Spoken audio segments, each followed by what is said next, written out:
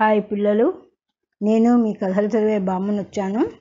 ఇప్పుడు మనము కొడుకు బాధ్యత అనే కథను విందాం. ఒకప్పుడు శ్రీధరపురాన్ని దేవసేనుడు అనే రాజు పాలించేవాడు. ఆయన చాలా ధర్మభద్రుడని ఎంతో రాజనీతి విరిగినవాడని ప్రజలు చెప్పుకునేవారు. ఆయనకు వినీతసేనుడు అనే కొడుకు ఉన్నాడు.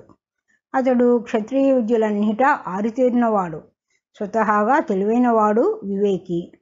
రాజు దేవసేనుడు త్వరలో కొడుకు రాజ్యభారాన్ని అప్పగించాలి అనుకున్నాడు. అయితే ముందుగా రాజ్యపాలన విషయాల పట్ల అతడి ప్రవర్తనా తీరు ఎలా ఉంటుందో పరీక్షించి చూడాలని భావించాడు. ఒకనాడు దేవసేనుడు కొడుకును తన వెంట సభకు తీసుకొని పోయాడు. సభ ప్రాంగ ప్రారంభం కాగానే మంత్రి ఆయనతో మహారాజా తమ దర్శనం కోసం ఒక తల్లి కొడుకులు వచ్చారు అని చెప్పాడు. మంత్రి ఇలా చెప్పగానే అక్కడ నిలబడి ఉన్న గోవిందుడు సీతమ్మ అనేవాళ్ళు వచ్చి రాజుకు నమస్కరించారు.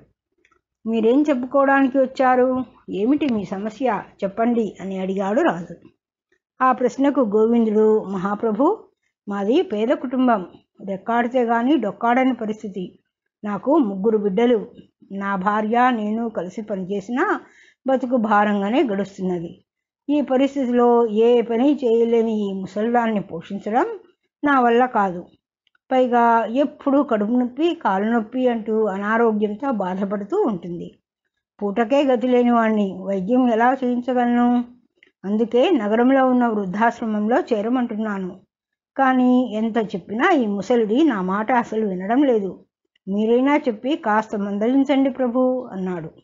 దానికి సీతమ్మ రాజుతో ప్రభు తమరు కన్నతల్లి బాధ అర్థం చేసుకోగలరు.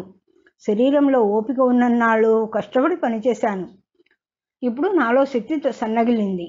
పని చేయలేను. అందుకని కొడుకు కోడలు మనవాళ్ళు ఇంతమంది ఉండి కూడా నన్ను ఎక్కడో ఒంటరిగా అనాథ బతుకు బతకమంటే ప్రాణం కడబట్టినట్టు ఉన్నది.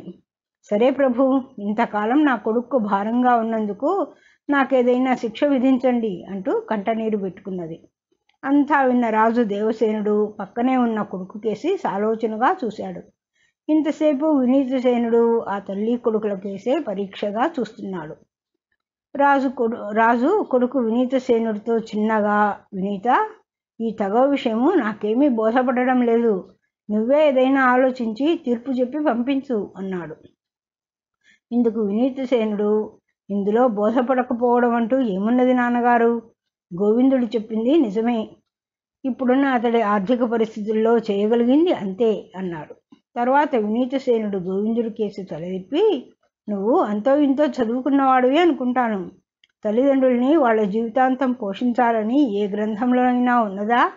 అని అడిగాడు. లేదు ప్రభు లేదు. అంతేకాదు మనం అనేక రకాలైన జంతువుల్ని పక్షుల్ని చూస్తున్నాం.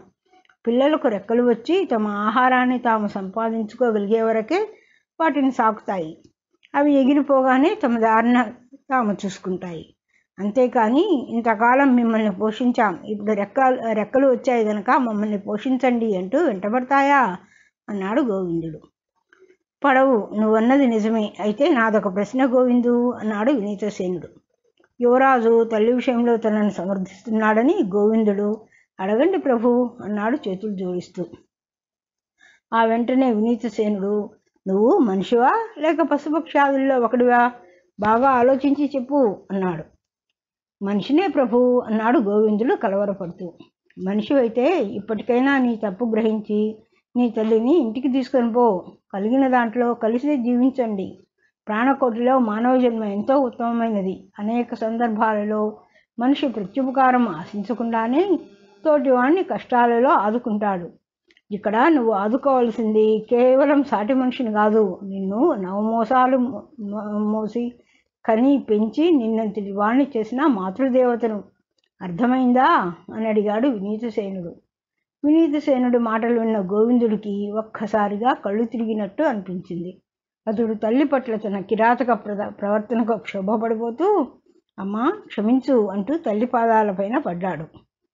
సీతమ్మ ముందు కొడుకును తర్వాత వినీతసేనుణ్ణి నూరేళ్ళు చల్లగా వర్ధులు నాయనా అంటూ దీవించింది ఈ తీర్పు విన్న రాజు దేవసేనుడికి తన కొడుకు ఎంత గొప్ప న్యాయధర్మ సూక్ష్మాలు ఎరిగిన ప్రతిజ్ఞావంతుడో అర్థమైంది.